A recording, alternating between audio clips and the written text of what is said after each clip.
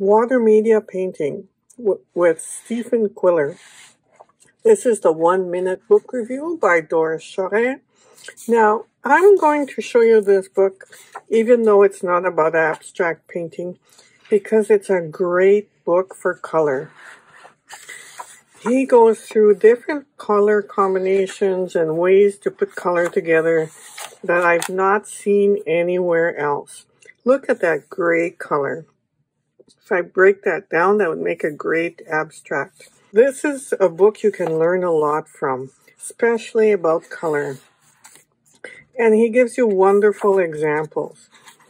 Now, any abstract artist can learn from this just by looking at the examples and trying out the different color combinations.